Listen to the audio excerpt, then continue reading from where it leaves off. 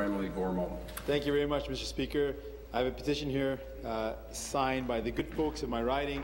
It reads to the Legislative Assembly of Ontario, whereas Ontarians are not legally required to declare their consent on organ tissue donation, and whereas every Ontarian is issued a health card, and whereas as of November 2013, there are 1,474 Ontarians on the transplant waiting list. Many will die waiting. One donor can save up to eight lives and improve the quality of life for 75 others through the gift of tissue. 95% of Canadians support organ donation.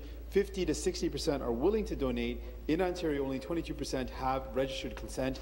Our request is fiscally beneficial as it reduces healthcare costs, saves lives, and improves, life, uh, improves quality of life. We, the undersigned, petition the Legislative Assembly of Ontario as follows.